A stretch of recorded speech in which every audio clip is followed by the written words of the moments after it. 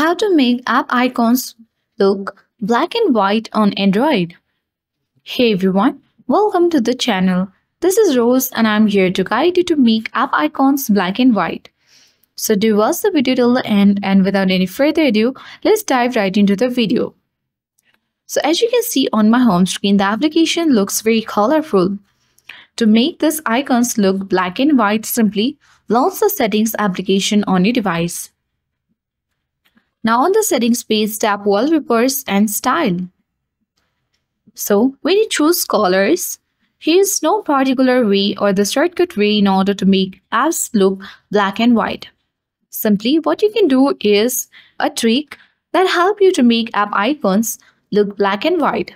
That is simply choose the themes at top right corner and choose the black and white theme on your wallpaper or the screen and then you need to choose the theme that has its icon look black and white as well.